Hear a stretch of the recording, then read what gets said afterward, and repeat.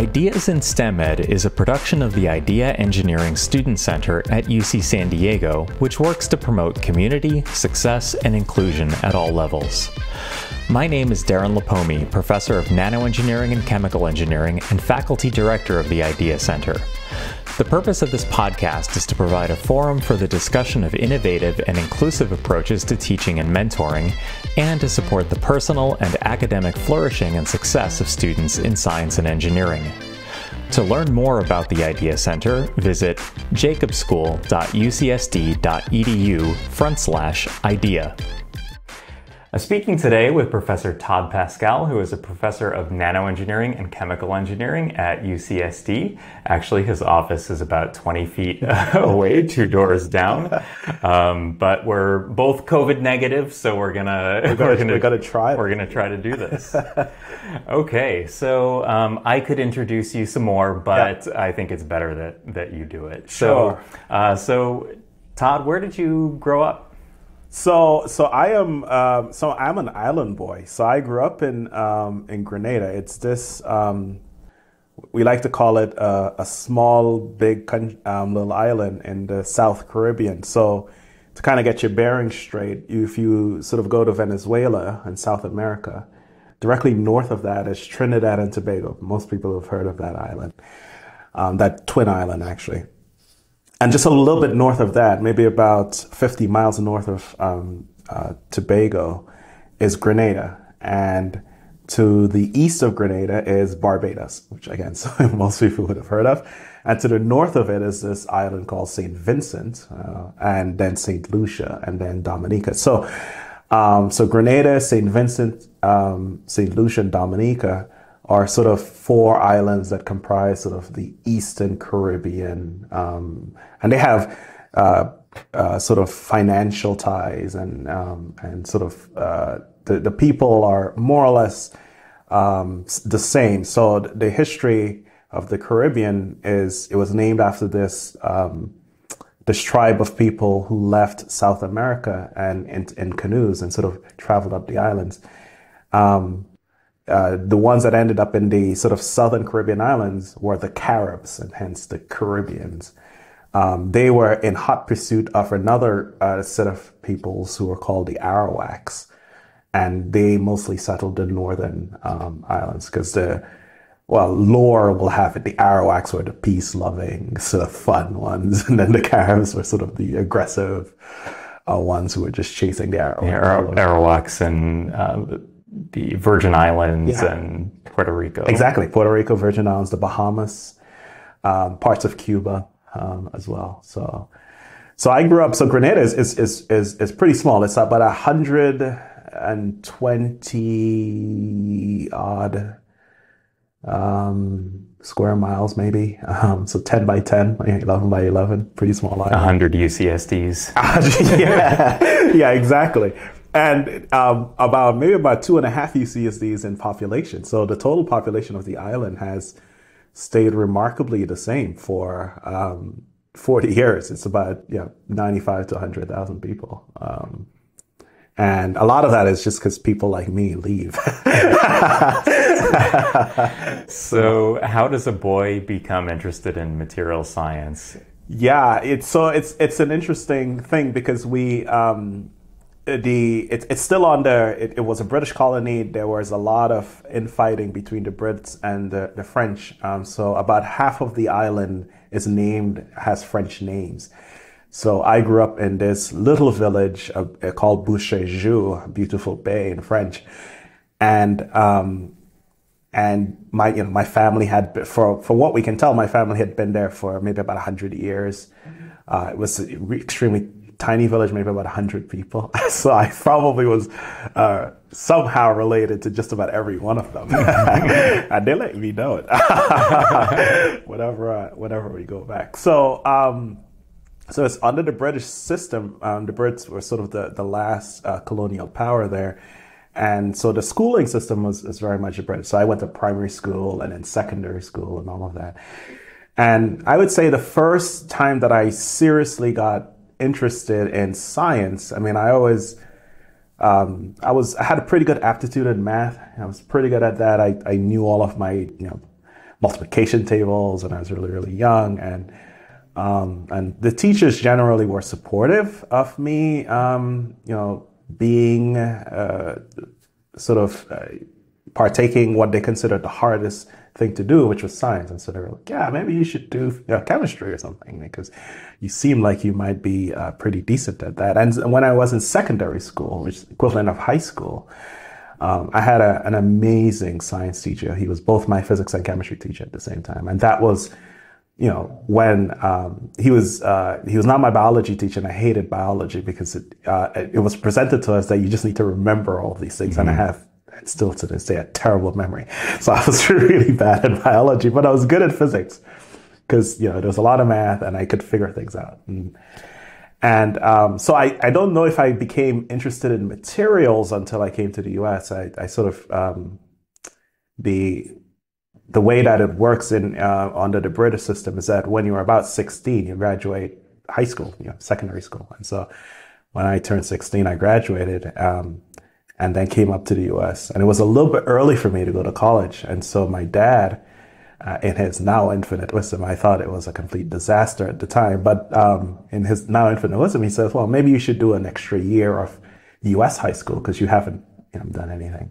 But he's a computer scientist. He right? is a computer scientist, yeah. So he came up to the States actually um, when I was really young. I, he must have left when I was about three years old, and he came up to uh, attend university and he went to Texas Southern University in Houston and he's still to this day in Houston, majored in computer science and, and did that. And, um, and he returned about 10 years later, I would say. Um, he'd uh, gotten a master's in computer um, engineering, computer science, came back.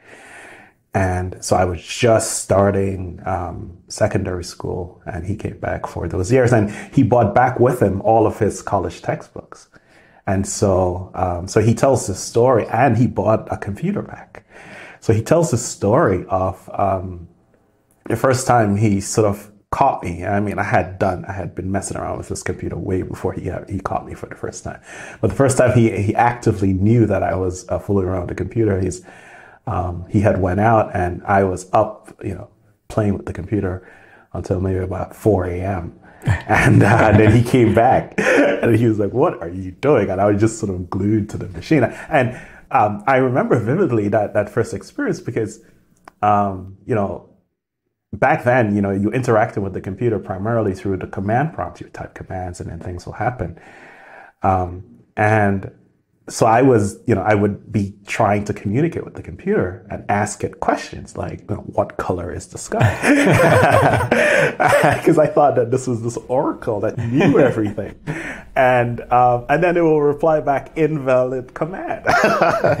and so I spent the entire night trying as, you know, my hardest to actually give it a valid command. That was my one main goal. Let's Do you remember the specs on this computer? Oh, it, I want to compare your first.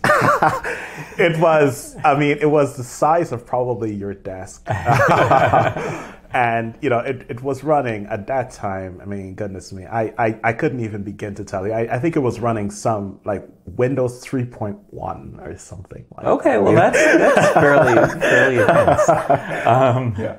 Were we born in similar years? 1983, I was born. Yeah, yeah, I was 83 as well. So um, I feel a certain kinship with people born in 1983. yeah, exactly. So it's it was. Um, you know, just goodness. I yeah, I couldn't tell you the specs. I, I should ask my dad. He probably he probably still has them. He's uh, he collects he collects them now. So your dad caught you, and what were you? So you were you were asking the Oracle of Delphi. well, you know, I try anything that I could ask it. Um, you know, because uh, you know how old am I? I mean, I was just asking it anything that I thought would be that it would know, and it, of course, it couldn't. And um, answer. Um, and I actually don't think I, I ever got it at that time. That first that time that my dad caught me. I don't think it ever, I ever got it to to tell me. To, I didn't ever give it a, a, valid command so that it would do something. It was everything that I tried. It was invalid command, and it was it was frustrating, but it was also quite annoying because I was like, "You're a machine. How dare you tell me invalid command?" so so my my goal in life then was to figure out how to how to give it a valid command and. Um, and so my dad, um, you know, he uh, chuckled to himself, um, and then he he gave me one of his sort of programming textbooks, and he says to me, um, he's like, "You should probably learn this language. It's our namesake. It was Pascal." So he's like, "You should." so you should like you should probably learn this computing language, and then you'll figure out how to how to ask invalid questions. So so that was my first entry, and I was 11, 11 years old and um, learning Pascal, learning back then there was a computing language called BASIC. Um, um, and I, I, learned that. And then, um, and then QBasic? QBasic, yeah. Gorillas and Nibble. Exactly, yeah. And I programmed. And, and deconstructing them to figure out how they work. so, so that was fun. I mean, it was, you know, it, I, I, did a lot of fun things like try to code Nibbles and code Pac-Man um, when I got a little bit better. Um, but I, I just had a knack for that stuff. Mm-hmm. It just it just came to me, you know. Um, and so I, I, devoured his textbooks. I sort of I learned C, um, and you know, and I was coding these, you know, very simplistic sort of programs, but you know, and and um, but it was it was it was fun because it, it presented a different way of approaching languages. So again, I I was I had such a terrible memory um, that I relied overly relied on sort of my analytic skills, and so that's how that developed sort of this this need to be useful because I couldn't remember most things, and so um, so then I I ended up becoming really really interested in just how far can we push this, right? So there's this machine that you can give commands and I realized quite quickly that it, it actually is a, a relatively simple machine. I mean, it, there are these really complicated processes that are going on in the background, but at its core, it's this kind of, you know, input output sort of thing, right? You tell it what to do and then responds. Mm-hmm. And then my dad said to me, um, you know, he's like, well, it can do a little bit more than that. I mean, it's, you know, if you connect, it turns out that he's, uh, this was right at the beginning of the World Wide Web. Um, and we actually did not have a connection to the internet um, then, and we'd I'd have to go to the library to to actually see this in action. But um, and then he was like, "Well, if you connect them together, it turns out that you know this relatively simple machine that's sitting on your desk, if it ends up getting networked with a whole bunch of other machines." Then you really start um, harnessing some incredible power in it, and, and so this idea of kind of emergent properties. Now, I didn't know anything that's what it's called or anything like that, but the idea that the sum is, is greater than the individual parts um, was fascinating to me. And so I was like, well, okay, how far can we push this? And so then I get to college and I'm convinced that this is what I'm going to do, right? Because I'm good at it. Um, and my, you know, I, I, sort of emulate and, and still revere my dad to this, to this day. And I wanted to be like him. I wanted to do, do what he did. And, um, and at some point, though, he told me, he's like, you're actually better at this than I am. you know, so you should think beyond, you know, think beyond whatever it is that I'm doing. What else? Padawan. yeah, it's like, what, what else can you do with this stuff? And, and because I think, because I had a, a pretty good, you know, aptitude for math when I got to college, um, even though I wanted to do computer science, um, and I kept getting all of these physics and chemistry classes, I was actually also pretty good at that. Um, and and so then the idea became my first um, in the summer of my freshman year. Um, my um, I got a summer research inter- um, internship at um, Fermilab, um, which was a really really exciting summer. They were um. I think they had just they had run the experiment a couple years before, but they had now analyzed it and they were pretty sure that they had discovered this new quark, and so so I ended up on a team that was trying to write code to just sift through massive amounts of data and organize it in some sort of structured way. Working with this uh, staff scientist called um, Dr. Dave Ritchie um, at the time, and he was uh, you know, a Perl guru. It's this language, the scripting language called Perl, and he had written hundreds of thousands of lines of Perl. So here I am, you know, he's like, okay, Mr. Big Shot, you know C and all of that, but I'll show you how to actually organize data. It's far easier to do with these scripting languages, and and so that's kind of how I started. Uh, I learned Perl from him basically uh, that summer, and glossary, scripted language, scripting language. Ah, so um, so in computer parlance, you have different ways of giving the computer instructions. That's you know through the programming languages, and um, you know, you have languages, traditional programming languages like C and uh, Fortran and so forth. And they are called compiled languages, meaning that you write the code and then there is a, a, a computer program that comes and converts that directly into machine language so that the so that it can run on the machine effectively. Scripting languages are uh, a layer above that. So Python is sort of the um, most popular one these days, mm-hmm. but Perl was you know, an OG, one of the original ones. Um, they're a, a, level above that. They don't actually get compiled. They as the as the code is executed line by line, sort of the computer is interpreting it line by line. It's not this one big compiled machine code that's running. Uh, and because it's sort of not compiled at, at runtime, it's slower typically. Um, although Python is pretty fast these days because it has to be interpreted one line at a time. But it does, because it's not compiled code, it does allow you the flexibility to be more general in terms of the structure of the language. So mm-hmm. you can write it in sort of less regimented um, forms. You know, you don't need to know too much structure and you can just flop on it, right? Right. And Python is a little bit more structured. But Perl at the time, anything goes. you just have a, a, general format and you can just write it. And so, which is great for a beginner. Um, and, and so I learned, I learned Perl that summer. And, um, that was my first, I think, introduction to using computing. Um, cause I knew how to make games. I knew how to, you know, blue, um, I knew that banks used this for stuff. But that was my first inkling that you could use it in science. And, and that, that then germinated in my mind the idea that maybe um, you know we could start solving problems in physics and chemistry and then material science using computing. Mm-hmm. So you had this inkling, yeah. and you decided to go to grad school. Yeah, um, and uh, that involved a pretty big move. Yeah, I did. Um, yeah. yeah. from Philadelphia um, to uh, to LA. Well, so when were you in New York City then? So when I originally came up um, with my dad, so he was living in New York City at the time, um, and then um, and re- and then moved to Houston um, because he wanted a, a bigger yard primarily. I was sick and tired of living in a uh, in a box in New York City, and, and sort of got himself this huge place in, in Houston.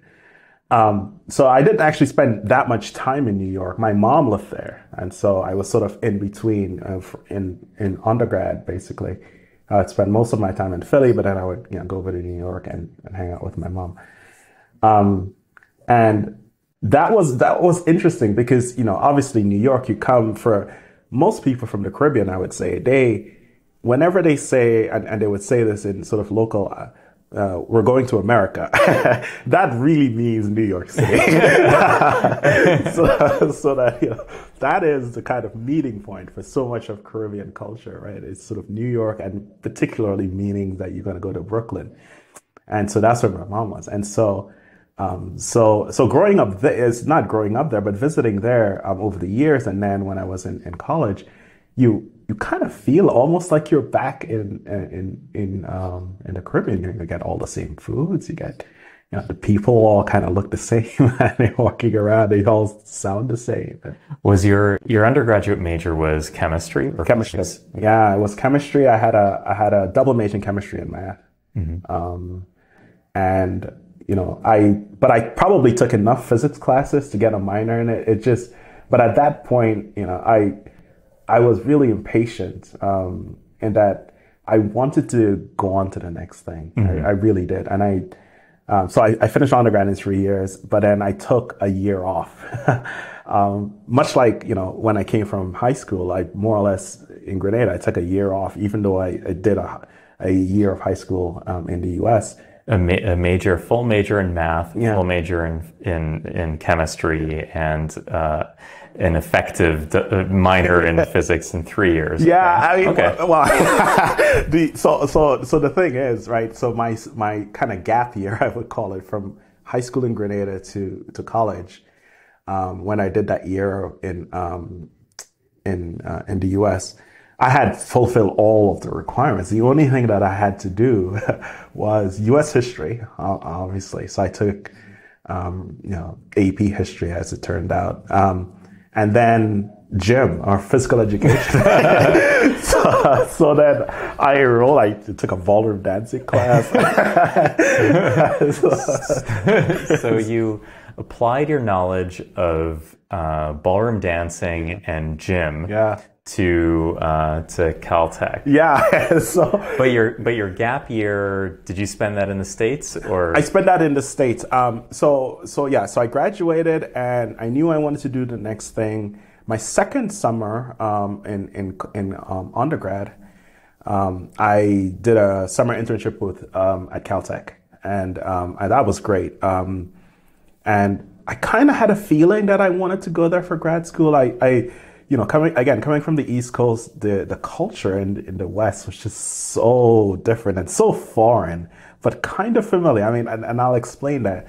Foreign in the sense that there was just there was Southern California just has a vibe to it that is unlike anywhere else, basically but familiar in the sense that people are relatively laid back and, and that's kind of like an island vibe almost and so i was like okay i really like this it's it's different than than what i you know grew up with but it's also kind of familiar even though it's caltech even though it's caltech and it, it turns out that i had um, by probably just dumb luck but i ended up making some of the most amazing friends um, when i started grad school one of whom was my um, grad school housemate, and he's now a professor in chemistry, Brian Zidd. Mm-hmm.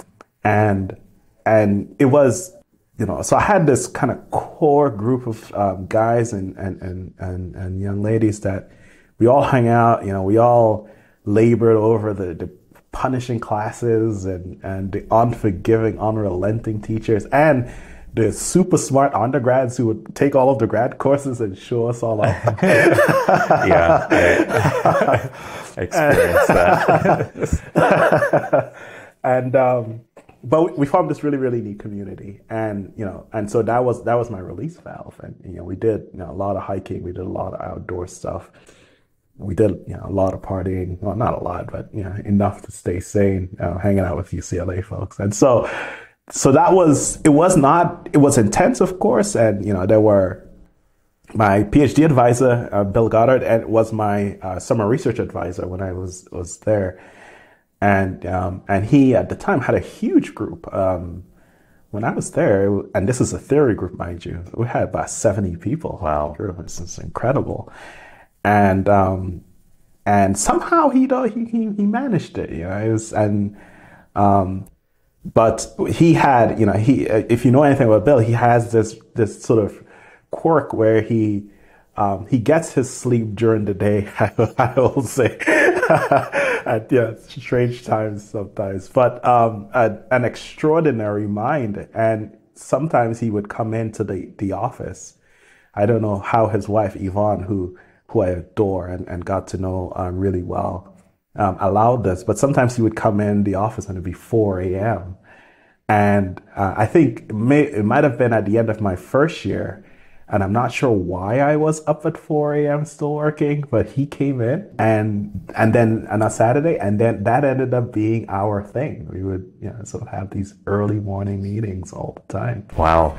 And, and it was, it was great because, you know, I, you know, to the to this day, he just he's no he's no more about chemistry and, and physics than, than I he's forgotten more uh, than I will ever know. But um, those those experiences were great because you know it was our time to kind of just talk in general about things. It wasn't the, the nitty gritty. Okay, how was this project going? It was much much larger uh, in scope, um, and and I had the advantage of coming in with um, a Department of Energy Computational Gra- um, Science Graduate Fellowship. So, and so Bill says to me, he's like, well, you actually, you know, don't need to work on anything that I want you to work on because you're, you know, kind of self-funded. So what would you like to work on? And, and so, so we, we just ended up having a lot of fun. You know, we, I, I kind of went from project to project, um, you know, kind of starting off in DNA nanotechnology. We worked with, um, who someone is probably the pioneer in that field, um, Ned Seeman at NYU,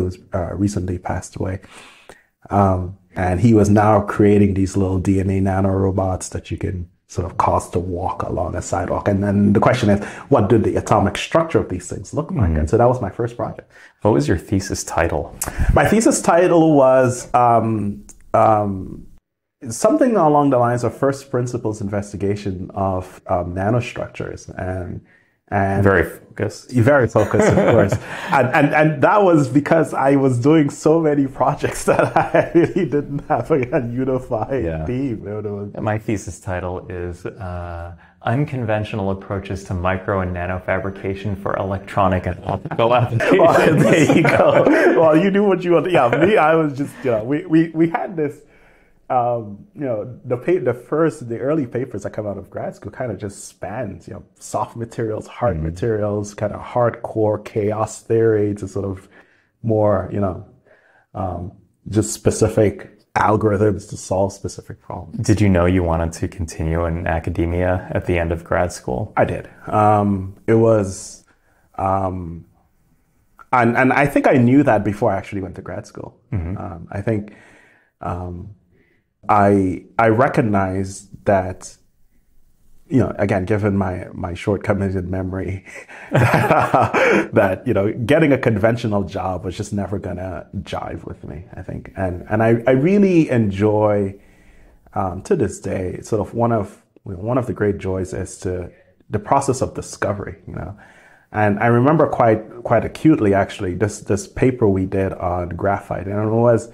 it's it to me it's it's sort of the finest work I've ever done. at least um, when I was in grad school, and it really was just kind of mapping out the energy landscape. You know, it's like oh, you have two sheets, and they're going to be sliding over each other, and they're going to have some configurations that are high energy and some that are low energy. And so just mapping out as a function of X and Y what that energy surface looks like.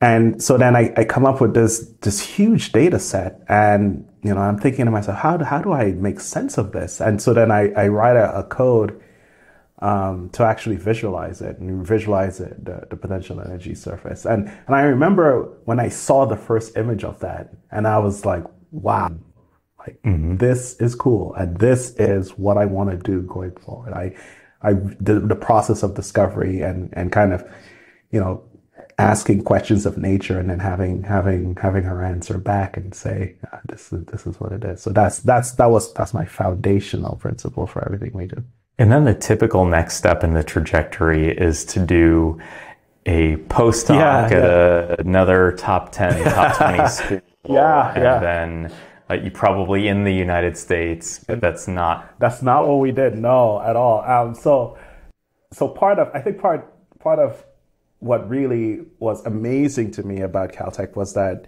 you had um, you know grad students who were came from everywhere like I did. The undergrads are just incredible um, and weird um, in their own way.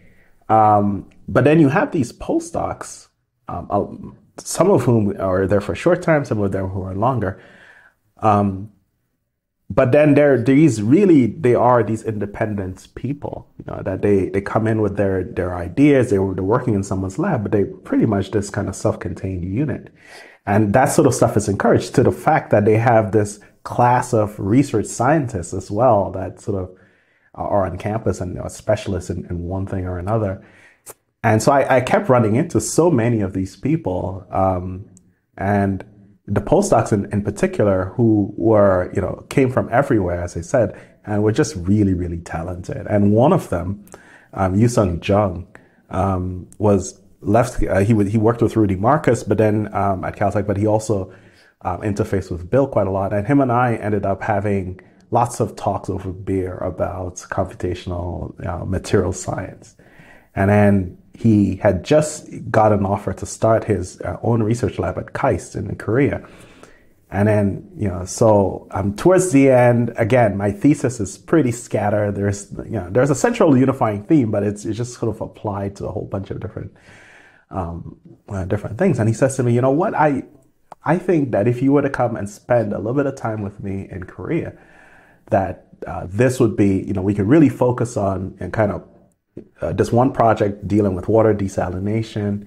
I think we could make some really good headway there. I have, you know, and so I applied and got this um, uh, postdoc fellowship from the NSF, international fellowship to kind of to, to, facilitate that. And so I went there thinking that I would spend, you know, nine months to a year. And, and then a year and a half later, I, am starting to finally get, you know, feel my, my footing. Along the way, when I'm in Korea, I, um, you know, it's, I'm able to kind of travel th- through uh, Asia and uh, all over Asia and um, even had a, a, a short uh, about a week and a half in Russia, and then you know, and then my uh, my girlfriend at the time, wife now, was living in London. Um, so she was very upset at me um, because she was like, "Well, first of all, you you leave you know LA, which is hard enough, it's an 11 hour flight, and then you go to Korea, and it's a 13 hour flight, and somewhere in between you skipped over London, which is where I,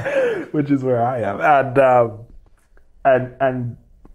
and so then because she was there, I ended up um, spending quite a bit of time um, traveling through Europe as well, and so so that was that was fun.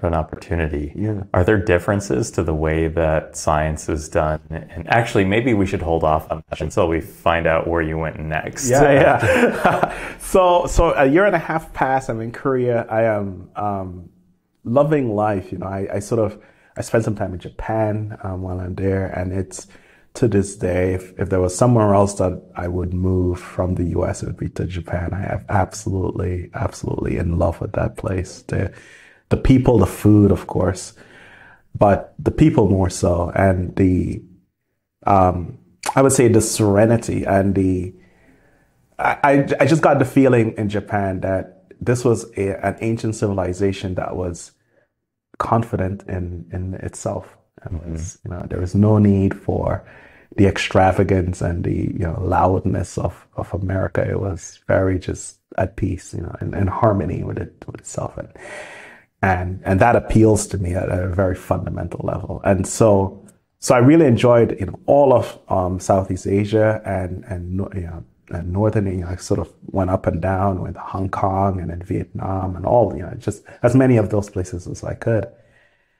And um, and then you know it was well so what what's next and then i was thinking to myself well you know i really want to do academia um, preferably in the states um, i'm not opposed to japan i'm not sure how that would work with them but not opposed to japan um, so i came back and then um, I, I, was having these discussions with a professor up at berkeley who's actually not one of my collaborators now uh, Rich Saykally and he is really interested in water. He's sort of just fundamentally just interested in water as a, as a property. And, and I, I have a long-standing interest in, in water as well, just um, from a different lens, but as well. And so we were having this, this, this conversation, and he says to me, "You know what? I think you'd be really, really good to work with my collaborator, um, who is on the Hill at Berkeley Lab. His name is David Prendergast." And so I talked to David, and I would say probably over 30 minutes, we just, we were like, yeah, this is what we're going to do. And so then, so then, you know, I, I, moved back to the States. I'm up at Berkeley, living in North Oakland, um, and, you know, having such an extraordinary experience of being at the lab, which is, you know, it's, it's different than on, than on campus, um, but not really. So you sort of, you, you get this really extremely academic, um, sort of research enterprise that is housed in a government lab and, and in the material science division and, and, at the molecular foundry in particular. And so, and so then David is, um, is a pioneer kind of, using X-rays, uh, computational X-rays science to look at materials. And so that's, that's, that's where I learned that mm-hmm. basically. How long were you there? Um, about three years um, uh, as a postdoc, and then um, it was like, well, uh, do you want to stay on for a little bit longer? And I was like, sure, this sounds good. So then I became a project scientist um, there. Um, you know, kind of had my uh, own little ideas about what it is that I wanted to do, and explored a whole bunch of projects in, in, with um, some really extremely talented people up there. Brett Helms, mm-hmm. um, who's a polymer um, chemist there. We'll go ahead and tag him when we post that on Twitter. yeah, no, that's amazing. Um, but but you know, the Foundry is a special place in that everyone there is, in terms of nanoscience and material science, is, is right at the edge of what's what's possible. and you know they have some of the most incredible equipment, but also the expertise. I think is is, is phenomenal, and um, and just so my interactions with so many of, of those scientists there, and and opened up my mind as to again, you know, what is possible with all of this. And then when it came time to apply for faculty positions, yeah. you came back to Southern California. I did, yeah. Um, not uh, not Pasadena, but San Diego. And much better in La Jolla. and then um, you had uh, a number of successes, including uh, co-lead on one of the independent research groups in the MRSEC, yeah. uh, which was recently awarded, yeah. and also very recently the NSF Career Award. Yeah. Congratulations! Thank you. that. Yeah. Uh, what is your career award topic?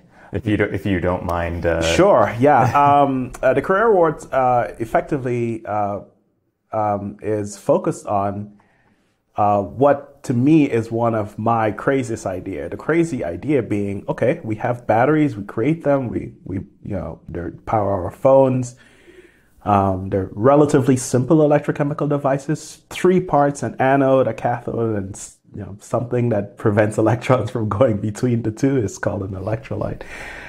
Um, and, you know, people, uh, we have incredible electrochemists and battery scientists down here at um, experimentalists um, at UCSD. I would put our program up against anyone. And they are really creative in, in figuring out, you know, how to optimize these devices and new materials for these devices. Um, but if you talk to any one of them, they will tell you that there is still a, a, a lack of fundamental understanding about what really happens when um, an atom leaves one of the electrode, goes to the electrolyte, and then goes back to the other electrode. I mean, we know in general terms that this is what's happening, obviously, because the battery works. But how does it happen, right? I mean, so, um, and so that, that's what the, the career is about. It's about trying to use theory to actually do a virtual nano battery. We're going to create a nano battery and put it on the computer and we're going to discharge it and we're going to charge it and we're going to see all of the chemistries that are happening um, at a you know, atomic level because we have control over that as theorists. We can you know model the physics at that level uh, relatively straightforwardly. Can you define with the goal of differentiating the, these terms theory computation and modeling? Yeah, so it's, you know, if I use them interchangeably, um, if you're a purist, you probably scoff at that um, and say, oh, you know, these modelers are not real theorists. Um, so theory would be anything, uh, you know, almost uh, traditional theory would be pen and paper, writing an equation, solving them, and figuring out what are the ingredients um, of using that equation to apply to some real system. Simulation then would be the actual act of applying these equations um, to look at the material properties. Or simulation and computation are more or less much the same, I would say. Um, those are used interchangeably, and and few people would would scoff at that. Although these days there is almost a, a, another line that gets drawn where you know, you can have data science come in, and, and that is less simulation and much more of analysis of simulation. And so sometimes that gets called computation as well, but um, it's semantics for uh, for me. Um, and then modeling would be okay. Um, you know, there is a system. How do I describe that system? Like, how do I set it up? Where do the atoms go? Um, and um, a lot of times, or not even the atoms, you know, you can describe it at different levels of rigor. You can say, well, I actually don't want to go to the nanoscale. I want to go to the mesoscale. I want to go to the macro scale. And, and so those kinds of um, modeling approaches exist as well. Um, we focus um, a lot of what we do on kind of nanoscale and look at atoms and molecules and electrons. That's, that's kind of where we've parked our bus. Where do the problems come from that you that you solve? Are they mostly uh, the trying to explain results that experimentalists get, mm-hmm. or are they uh, generated inward? yeah, yeah, inward, more uh, inward looking. And and where does like computational methodology development come in? Yeah, so it's it's it's a good question because I would say traditionally. Um, there was, and probably still is, a deep suspicion of theory. um, because again, as I said, you can control, um, you know, you get to play, to set up the system however you want. And you can apply whatever laws of physics you want to that system, right? I mean, as long as you can code it, you can apply it. And so for a long time, I think um, experimentalists have always thought of theory as and, and, computation and simulation as toy models. You know, yeah, these guys are just coming up with idealized systems and they're trying to explore some exotic effect and that has no real sort of relationship to, to what's happening in reality because you know entropy is sort of the lifeblood of, of everything right now right it's sort of this chaotic thing that is happening and and including those because it's it's almost an infinite dimensional space that you have to enumerate if you're going to get a realistic model. And so there's been a suspicion that theory is not there. And so that all of the stuff that comes out of simulations basically should be taken with a grain of salt. And so, so for a long time, that was true. And there have been, you know, developments along the way and, and people have really focused on validating their simulations. And so so that uh, computations became a tool for experimental val- you know validation by experiments. And then it's like okay it's validated. Now can you explain this experiment? And so that was the mode that it was in for a long time. Still is today to, to a large extent um, the advent though of, of really sophisticated algorithms and really uh, an enormous increase in computing power specifically these uh, supercomputing centers much like uh, the san diego supercomputing center that's uh, maybe half a mile from where we sit, um, has allowed now the consideration of much more extended systems, much more complicated systems, and has allowed us to sort of start putting in much more uh, relevant physics in these systems, so much more complicated models to the point now that from the purpose of nanoengineering, I see very little difference in sort of the complexity that you can do on a computer and sort of the, the scale and of the systems that you can, real systems you can look at with experiments. So, so that has been a, a relatively recent convergence, I would say. And so now the role of theory be, um, and simulations morphs from simply explaining experiments to now making predictions. And it's actually, you know, good enough these days to actually make reliable predictions that then gets um, uh, backed up by by future experiments. Which is actually the way that the chart in fifth grade of the scientific method is supposed to go. supposed to work. Right. Yeah, exactly. Yeah. So, what's an example of a uh, of a prediction that your work has made that you would like to see validated?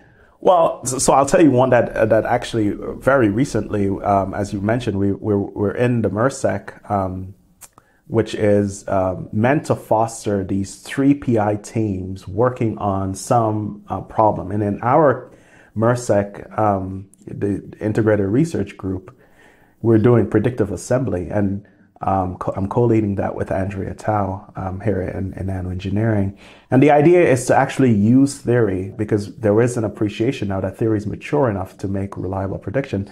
Use the predictions from theory to actually um, affect materials to um, tell you how to create materials. So our base idea is we have these building blocks, and these building blocks can be nanoscale objects that are nanoparticles, proteins, metal organic frameworks, what have you, whatever it is. And by figuring out how to modify the surface and the interactions on the surface of these uh, building blocks, um, think of them as, as little Lego pieces by figuring out how to, how to connect those Lego pieces together, we can create this massive, massive uh, macroscopic system by just um, engineering the, the individual components and having them self-assemble um, into larger scale materials.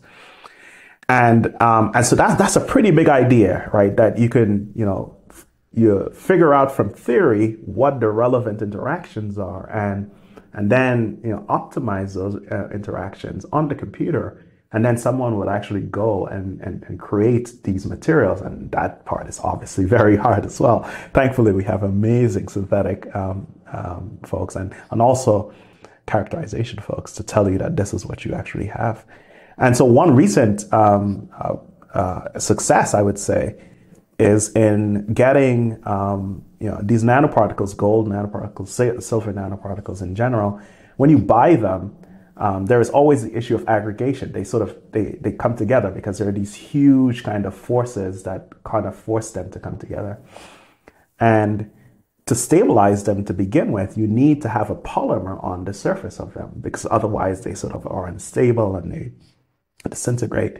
So usually you coat them with some kind of polymer. Um, and that polymer usually just goes on the surface in a non-specific way. It just wraps around the surface and prevents effectively the, the, the core nanoparticle from disintegrating. For a long time, people have wondered, what if we could actually have polymers that only bind to very specific places on our nanoparticles? Because then, if they were only at very specific places, those represent the contact points between different nanoparticles so that you can assemble nanoparticles in very specific arrangements if you can control where the polymers go on the surface. How um, much do your collaborators need to know about computation in order to to do this, inter- yeah, interface, interface with, with me. Yeah. Not much, but thankfully they're all incredibly smart that they know a lot of computation. but specifically, the grad students um, are aware um, of the methods. Um, some of them have tried them. I mean, density functional theory, which is sort of, I would say, the workhorse of quantum mechanics, you know, the, a way of describing electrons and the behavior of electrons, um, created at UCSD, that, that whole theory. Um, in fact, the building um, that Walter Kohn and, um, and Sham, so Kohn Sham DFT, um, is now has been designated a historical landmark by the American Physical, Physics Society um, for the development of density. I didn't realize that. And um, and they, yeah, they're going to have a, a huge uh, dedication ceremony this summer uh, for that. Um, and would you say that UCSD is the pathway towards some abilities which some would consider to be unnatural? yeah, I think that's a pretty fair statement. um, yeah, um, the Miller-Urey experiment. Exactly. No, it's it's it's a it's this you know again uh, much like much like Grenada, it's a small you know big island. I think UCSD it's a it's a young, really really impactful and old place. You know, in that it's there is so much that has come out in the last 60 years and and so much that will come out in the next 10 years it's just really exciting that is such a wonderful place to end, but I'm not going to end. oh, that would have been, been, great. Um, I do have another question. Yeah. Uh, in the spirit of ideas in STEM ed, yeah. do you think we are doing a good enough job uh, to encourage people to do computational science in an undergraduate mm-hmm. curriculum. Mm-hmm. So it sounds like a lot of what you did was self taught yeah. and like hard work in the background and like an interest in this. Yeah. But do we? Do we like, do we uh, f- uh, push it enough? No.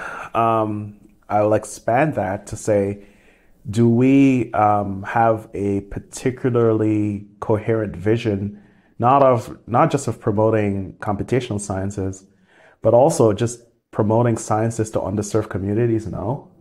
Um, we could, we'll, we have to, we, we will and have to do better at that. Um, I think the, um, the advent of sort of the Data Science Institute here at UCSD is going to help in that. And, mm-hmm. and there's, um, and that is a wonderful place for people who think about data science, not just in the computational kind of material science focus, but in the policy focus, um, in you know environmental and policy um, engineering focus, just all over the and computer science, of course, um, to come together and and solve really hard problems. That's going to help. Um, but it's going to take a, a, much more sustained effort from all of us. I think all of us that are in computational sciences to ensure that the undergrad curriculum reflects what is going to be more and more um, kind of the defining I would say, the defining, um, one of the defining areas of science um, in, in the near future. Do you think computation in particular has a has a special role to play in closing achievement gaps and Absolutely. Um, and and, and I, I like to think of it much the way that I think about the different sports that um, people get exposed to. Some of them are closed off, right? You need special equipment to, to do it, right? Um, but something like basketball, um, which is the second, or football, you know, uh, European football, soccer, which is the one and two in terms of most popular sports, and they're they're that way because you can just get a hoop and shoot mm-hmm. a ball, or you, you just get a ball and shoot it into a net, right?